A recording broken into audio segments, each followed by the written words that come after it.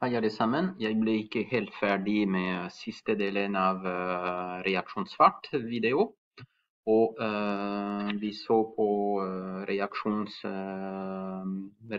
mellom eten og hydrogengass ved hjelp av en katalysator. Så katalysator er en viss overflate. Vanligvis er det består av et metall med en viss overflate. Det som gjør at en katalysator eh, skal øke reaksjonsfart, er i dette tilfellet hydrogengass som binder seg til overflaten der nede.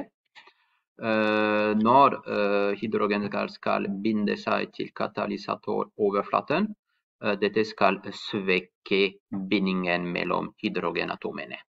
Og hvis bindingen er blitt svekket, det trengs mindre energi for å bryte uh, den.